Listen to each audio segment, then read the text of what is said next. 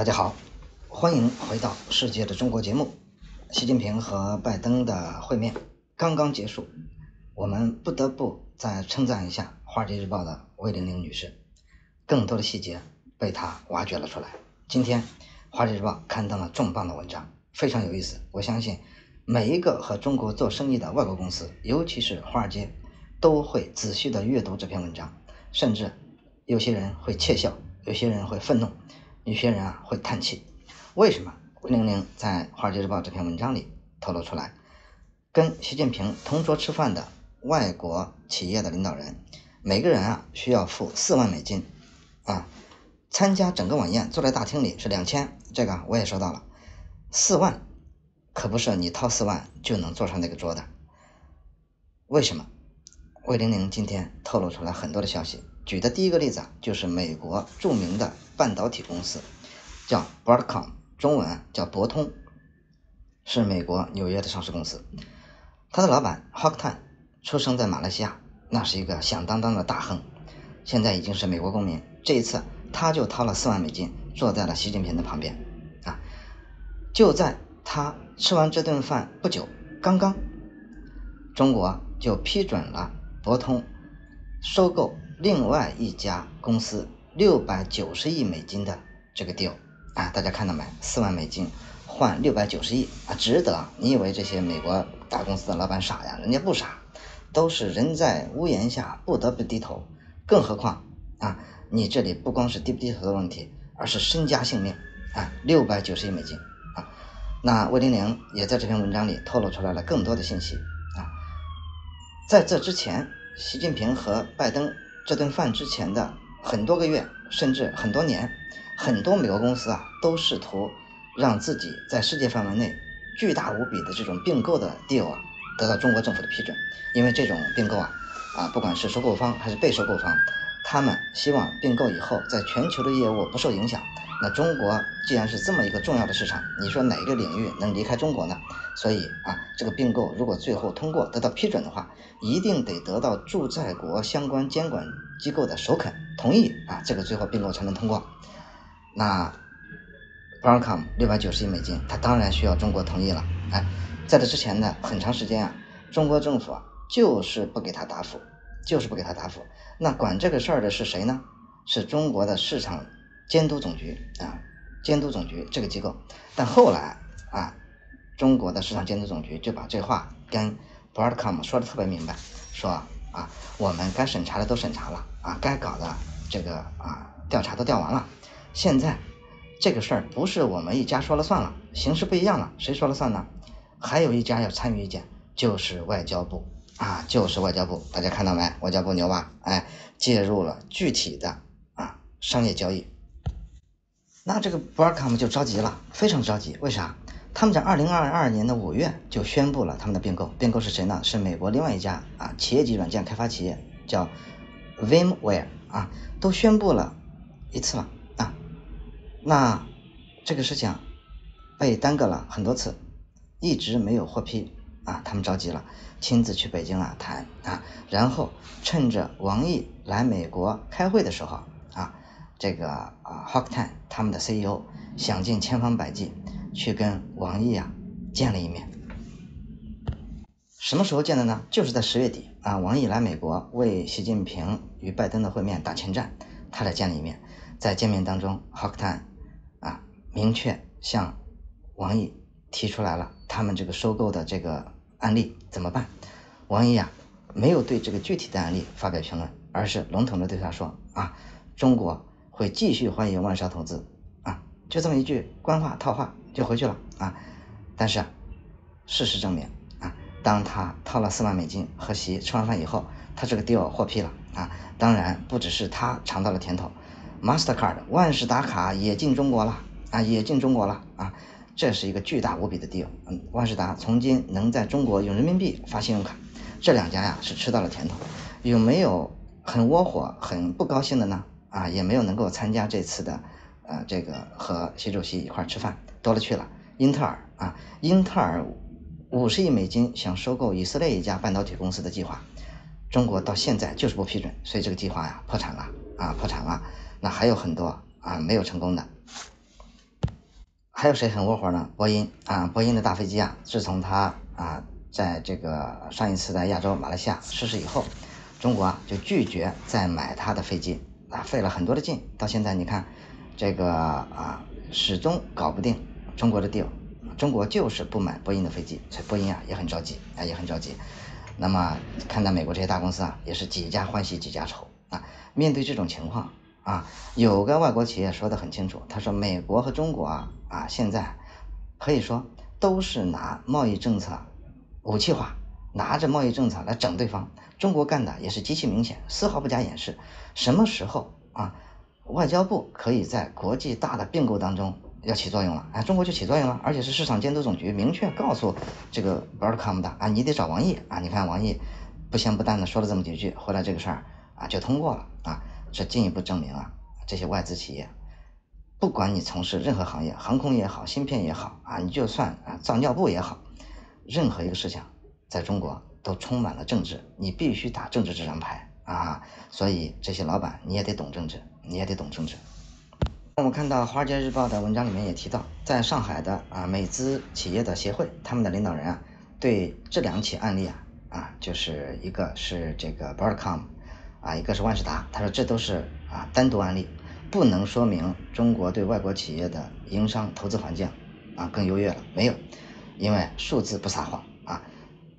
外资企业在中国的盈利原来啊都是留在中国市场继续投资啊，或者在财务上也不做大的变化，因为世界的这种啊巨无霸级的公司啊做账是全球做账啊，在中国也是它的盈利啊，它不需要挪这个钱，但现在都匆匆忙忙的把钱挪走啊。最近资金外流的这个趋势啊是极其明显的啊，外资企业的领导人 CEO 们在中国对整个的营商环境啊这个感觉啊也是极其暗淡的。啊，纷纷把自己的啊采购中心，把自己的供应链啊，把自己甚至的地区的运营的重点啊都要转出去啊都要转出去。我们节目之前也说过了，像沃尔玛这样的采购中心也挪到了越南。越南现在是开足马力，二十四小时不停工，接的都是中国转出来的这个订单。所以这个华尔街一个公司啊，一个大老板啊，而且啊没有匿名，公开接受采访的时候说，美中国现在玩的就是胡萝卜加大棒。但是很遗憾的是，我们就是这个战斗里的胡萝卜啊，我没办法，一点办法都没有啊！你必须听中国的，否则你这些大的 deal 你就是做不成啊！中国也完全清楚这帮啊外国人的虚伪势力啊贪婪啊！你不是要这个吗？啊，我就在这儿拦你一道，看你在政治上是不是和我们走在一起，是不是和我们保持一致啊！当然，这个事情也特别给啊习主席面子。看到今天《华尔街日报》这篇文章，我才理解为什么。啊，习主席在谈话的时候，虽然只字未提经贸问题，只是说希望美国企业做好中美两国友好的使者。你看不提经贸，仍然这帮家伙啊，这帮华尔街的大亨起立鼓掌。你说就这么句话，有啥好起立鼓掌的啊？但是他们起立鼓掌，因为四万美金都花了，到这儿来还不得把戏演足了啊？给足了中国面子啊，所以啊，他们肯定就是这么想的。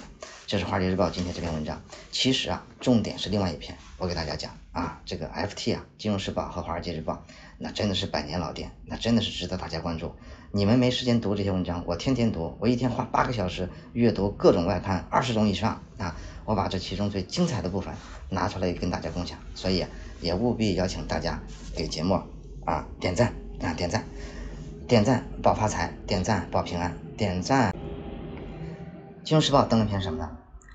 大家知道世界上几大会计师事务所吧？啊，德勤、毕马威、安永、普华永道。好了，消息来了，德勤律师事务所和毕马威，他们要求在美国的企业高管去香港旅游的时候，要用一次性手机。说白了就是别把你美国的手机啊带来。这是不是很有意思？很有意思啊！有的公司啊明说啊，有的不明说。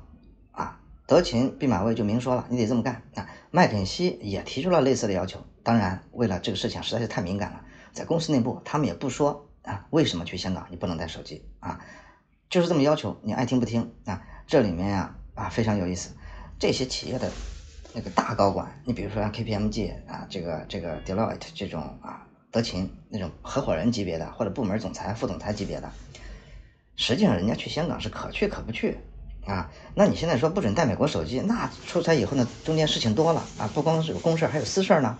所以很多这些大公司的这个大老板啊，根据《金融时报》说啊，上面一这么要求，他们就不愿意去香港了，不去了啊，因为把自己的手机留在家里，实在是特别啊不方便啊，所以人家就不来了。你看这个，这是我前几期节目里反复强调的这个。我说这个啊，人流、物流、信息流啊，这个资金流啊，人流最关键啊。目前啊，外国企业的高管不去中国旅游，不去中国经商，不去中国访问，最重要的原因啊，他就是不方便啊，就是不方便。那还有做的更过分的啊，除了不让带手机以外，你像从事航空航天啊，还有做这个半导体行业的这些美国公司啊，他们甚至要求你既不准。带手机也不准带电脑去中国大陆出差，去中国大陆出差啊。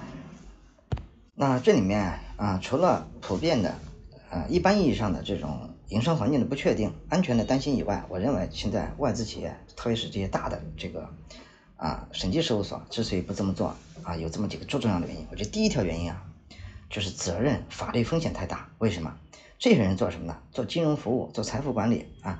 要么就是服务这些中国香港的这些大公司到美国上市，这里面用户的信息是特别关键的啊！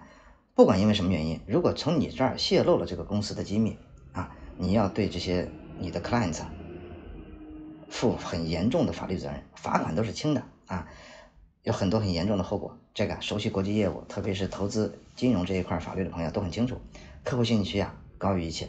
那现在你带着这些东西。到中国大陆去啊，面临着多重信息泄露，甚至被骇客的风险啊。中国大陆的这个这个啊，香港的这个黑客有多厉害，大家都知道吧？啊，那都是军事级的这个啊，这个黑客的装备、黑客的技术。你这些人带着手机、带着普通的电脑啊，十有八九会被他们搞死，会被他们把客户资料泄露啊。那前几天上海的那个何梅是吧，做这个。啊，移民中介的不就被扣了吗？扣了主要原因就是要他手里的客户名单。那对去香港的这些国际投行、这些会计事务所的高管来讲，他们手里那些客户，那更是比何梅的客户含金量不知道高到哪里去了，也是中方特别想要的资料啊。那在这方面啊，中方在很多情况下是无所不用其极的啊。我们看到外媒的很多报道，除了骇客黑客以外，还有就是趁你不在酒店的房间啊，直接进去搜的。啊，这种情况多了去了啊！以前媒体也报道过，很多这个跨国公司的高管到中国旅行出去开会啊，有事儿提前回来拿个东西，一看好吗？屋里三三五个人正在翻呢啊！你跟他们说话，他们也不理你，看你回来了，他们就离开啊！这种情况那是极其的耸人听闻的啊！另外啊，中方对此啊也是戒慎恐惧啊，他们也吃过大亏。你比如说啊，你比如说像这个啊孟晚舟案啊。孟晚舟啊，为什么在香港？也是因为香港爆出来，那就是因为孟晚舟跟汇丰银行啊做 PPT 的时候啊，他的资料里面啊，他的这个啊相关的这个这个讲述里面透露了华为在伊朗啊通过啊这个白手套公司怎么继续支持伊朗的啊，绕过了美国的这个啊金融制裁啊，这些信息当然很重要啊，但问题的关键是啊，拿到以后，汇丰把它。把孟晚舟给举报了啊！他怎么举报的？汇丰怎么拿到的这个信息？是通过什么渠道传送的？这些啊，你说中国的国安、香港的国安能不重视吗？当然重视了。所以防患于未然，类似的事情，外国这个金融机构，特别是会计师事务所，掌握这种核心机密的这些公司，他们手里有中国关键公司、关键领域、关键个人的什么信息？这绝对是他们需要知道的，所以你只要进了香港，只要进了大陆，你的这个你就等于裸奔，你就等于裸奔，所有的信息啊都在他们掌控之内，没掌控的要千方百计要搞到手才行。当然还有一条原因啊，我认为也是和现在的这个法律环境，就是香港越来越大陆化啊，它慢慢的啊可能跟中国的啊什么石家庄、郑州啊太原差不多了呀，因为啥？大家知道吗？啊，前不久。啊，中国的法律修改了啊，除了刑事刑法以外的条款，民法的、经济的纠纷的，中国大陆的法律适用于香港啊，适用于香港，那就是你在中国大陆啊有任何问题，原来台湾是你的避风港啊，香港是你的避风港，现在不是了，香港同样是在啊社会主义铁拳的掌控之下。这一点，香港特首李家超刚刚又确认了。他这个月在香港搞了一个三百多人参加的一个一个三 n 纳一个大会，都是外国企业的高管。李家超在会上啊公开讲说，香港跟其他啊这个国际城市不一样的地方，就是我们有伟大的一国两制啊。你看他这么说，这这我听着都有这种恫吓的味道。那国际资本、国际资本家听着当然是这个害怕了啊。原来啊这样的话，加上这个法律条款的公布，更让他们这些人在。这个啊，香港做生意啊，搞金融投资啊，啊，原来的保险套没了啊，原来的没了，你现在就是时时刻刻都有患上艾滋啊，患上啊各种乱七八糟病的这种风险啊，你不想换也得让你换，所以现在整个香港、整个中国对外商投资啊这个环境实在是差到了不能再差的这样一个局面，所以现在这个形势啊，这个真的是啊。不能说海外这帮家伙就处心积虑要中国垮掉，不是啊啊，人家连个手机带去都不放心，那这种担心哪儿来的？是美国让他们担心的吗？不是吧？是中国让他们担心的。另外啊，新加坡啊躺赢啊，每次新加坡都躺赢啊，战中的时候反修例这个运动的时候，一大票人把钱啊转到了这个啊转到了这个新加坡。第二波前段时间啊，这个啊国家安全法在香港实施的时候。又一大波人去啊！大家知道吗？从上个月开始，大量的资金又奔往新加坡，为什么？就是因为我刚才说的这个啊，两岸的法律啊，经济上打通了啊，香港和大陆打通了，打通以后，你这个钱啊，在香港就不安全了。所以原来在新加坡没有业务的公司，香港公司现在也纷纷设一个 holding company 啊，一个设立一个控股公司在新加坡，然后开账号。把钱转好，或者至少在法律途径上，一旦发生不测，能够啊，能够这个啊，确保资金的安全和人员的安全啊。所以新加坡每次啊，不是人家有多聪明，而是就凭着两个字“法治”啊，不管怎么着，新加坡有法治保障啊，法律说了算啊。这种情况下是让人最放心啊，国际资本最欢迎的一种做法。他们最怕的。就是不可确定性啊，最怕的就是颠三倒四啊，翻手为云，覆手为雨。最怕的就是把一些法律以外的因素强加到他们的商业 deal 里面啊。那这样的话，你谁也不敢啊做大笔的投资，做持续的这个投入。所以你看，这个《华尔街日报》这篇文章也好，《金融时报》这篇文章也好，还有一个共同的特点，所有这些当事人啊，什么 Broadcom，什么这个毕马威啊，这个英特尔啊。所有的公司都不接受采访，拒绝置评啊！华尔街日报还把传真问题发到了中国驻美使馆，驻美使馆给了他一个答复，说你去看我们当天晚上啊这个啊习主席的演讲就行了，或者你去看我们关于啊批准这些外商进入中国的啊市场的相关的声明就可以了啊。对于具体案例不予置评，但是现在这个就很明显啊，就是中国啊左手拿着胡萝卜，右手拿着政治牌啊，武将起来啊。无所匹敌呀，没有人能够挡住啊！所以我们看看华尔街这帮大公司，这帮资本家们现在臣服在社会主义的铁拳之下，这是多么美好的一幅场景，是任何人都想象不到的一个图景。当然，这种情况能延续多久，会不会持续下去，咱们也会继续观察，给大家带来第一时间的点评。谢谢您，欢迎您给节目点赞啊！谢谢，下期节目再见。